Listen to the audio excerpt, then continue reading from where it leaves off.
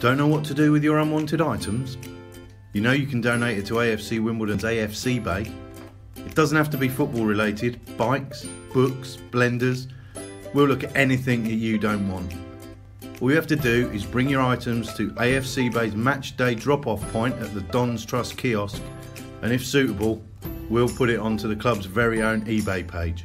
All the money raised goes directly to the club. So, look us up on eBay, Facebook, and Twitter. Now you have a reason to clear out that shed, cupboard, or loft. AFCbay. One man's junk is another man's treasure.